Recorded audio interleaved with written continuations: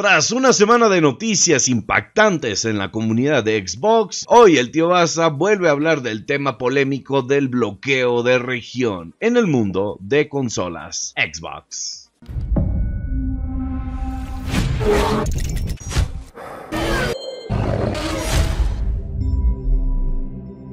¿Qué tal sobrinos y sobrinas? Bienvenidos sean a este nuevo video donde estaremos dándole paso a esta interesante regularización que está haciendo Microsoft sobre este tema del bloqueo de región en países que no tienen tienda de Xbox y en países que pues tenían una buena economía para nosotros, ¿no? Los que podíamos aprovechar esto. El bloqueo de región, señores, es una regularización que fue anunciada la semana anterior en el sistema Xbox que limita a los usuarios a no cambiarse de región para hacer compras en otros países. Como anteriormente muchos usuarios lo estaban haciendo, creadores de contenido tanto en YouTube y otras plataformas de video mencionaban estos trucos, ¿no? De, eh, cámbiate a tal país y vas a encontrar juegos baratísimos, güey, donde eh, el nuevo Resident Evil 4 Remake lo vas a encontrar en, no sé, 200 pesos, ¿no? Y su edición Gold, y pues baratísimo a comparación de cómo lo venden aquí en México. ¿Y cómo iba esto? Bueno, esto funcionaba cambiándote de región desde tu consola Xbox o también utilizando la famosa VPN, que aquí hay un pequeño problema con los usuarios, ya que muchos decían, eh, sí tío, pero eso es en consola, pero ¿puedo utilizar la VPN todavía en mi teléfono? Pues es lo mismo, cambio de región es VPN, ¿ok? Solo que lo mostré en consolas para dar un pequeño ejemplo, pero pues es lo mismo, VPN en el teléfono, eh, en la consola es igual. Ay, ahora ya entendí. Xbox es una comunidad gaming de una gran infraestructura, con una gran cantidad de usuarios que existen a nivel mundial.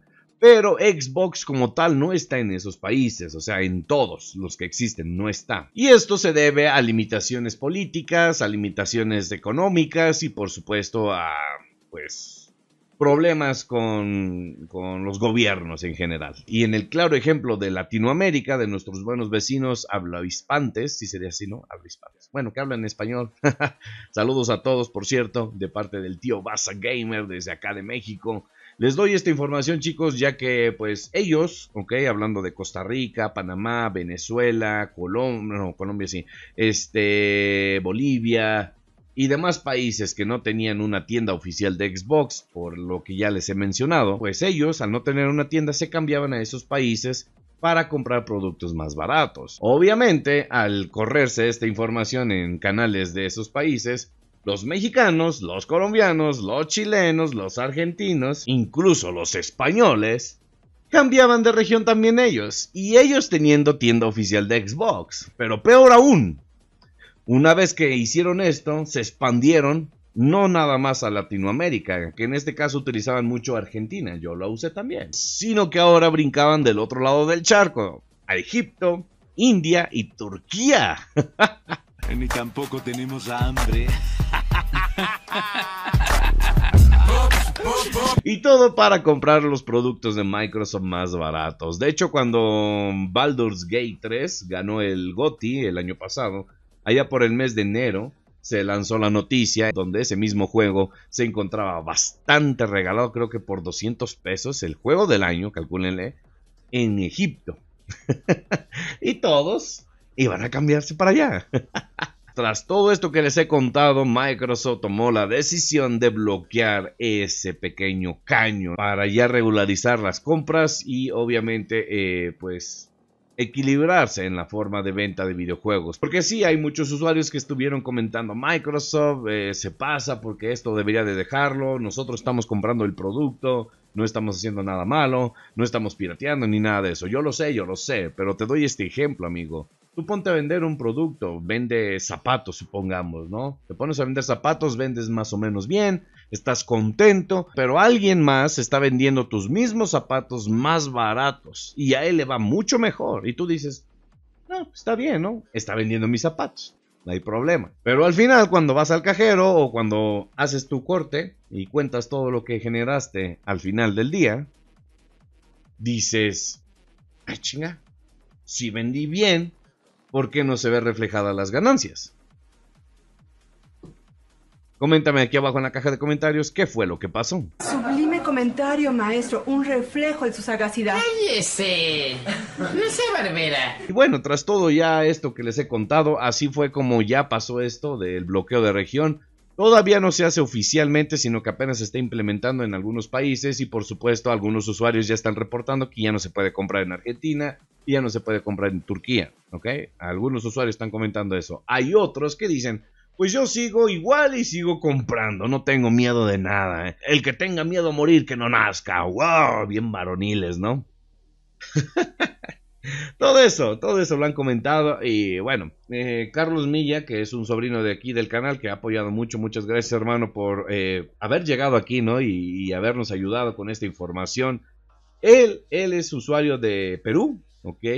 Él tiene este problema, ya que pues como lo mencioné, los usuarios de Latinoamérica, ellos sí podían hacer esto del cambio de región porque ellos no cuentan con tienda oficial de Xbox. Pero los mexicanos y pues los países más mencionados, eh, los chilenos, los eh, colombianos, los españoles, aplicaban este truco y abusaban de él.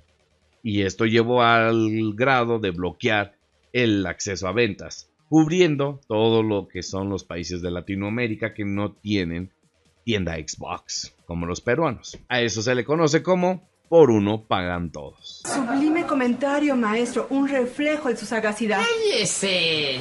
No sea barbera.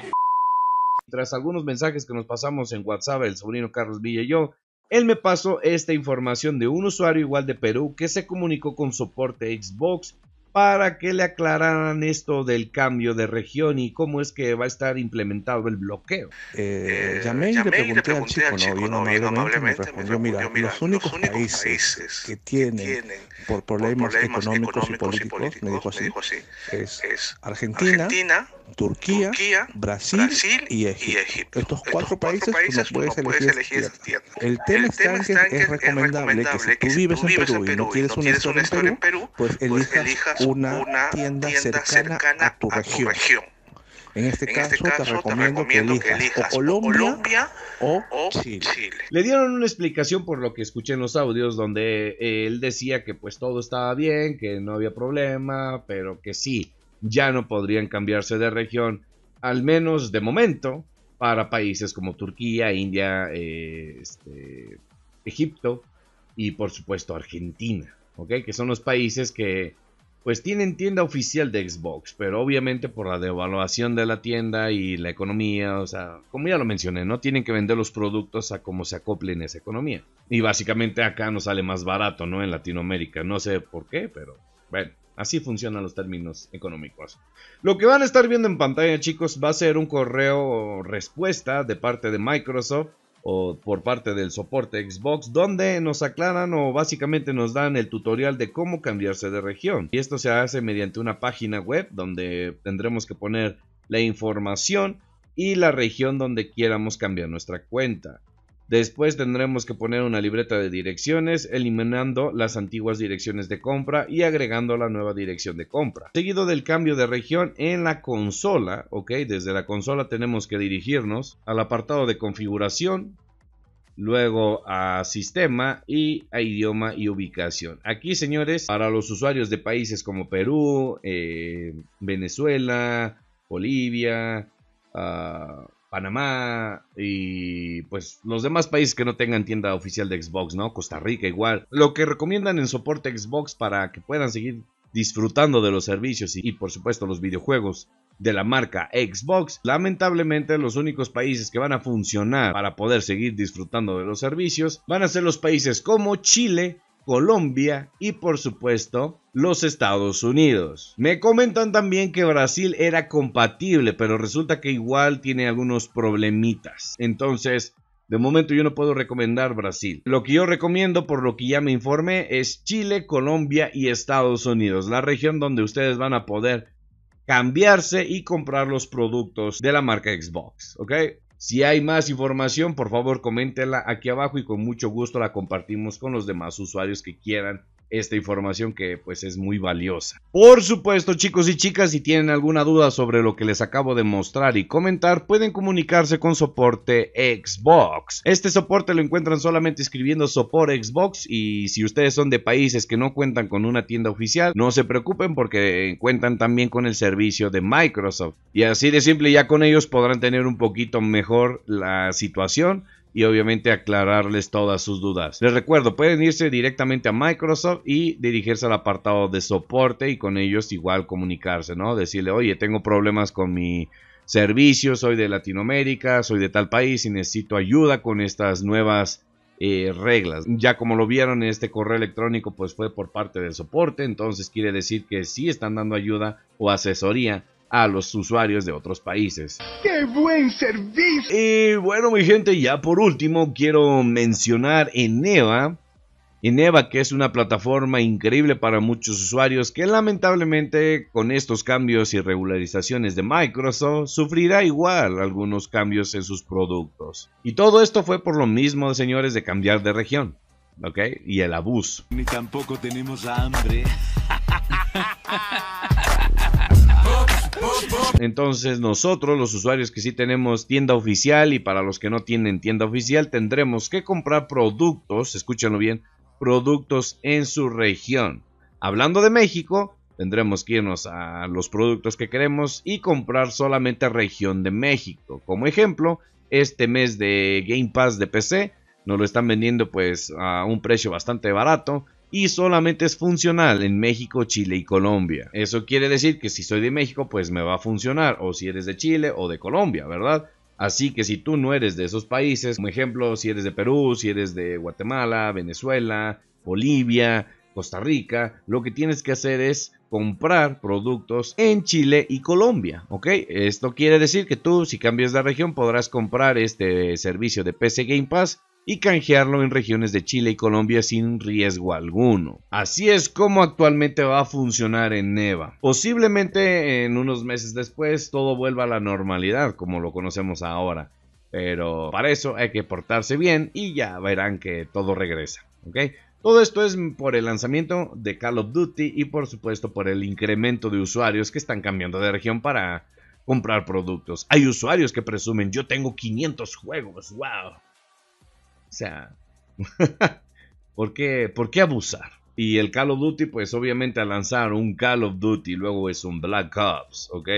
Y es un juego pues que vende demasiado, ¿no? Y con un gran eh, potencial económico, pues obviamente tienen que hacer estas regularizaciones para no salir tan afectados. Imagínense cuántos usuarios estaban haciendo el truco de comprar mucho Game Pass en India.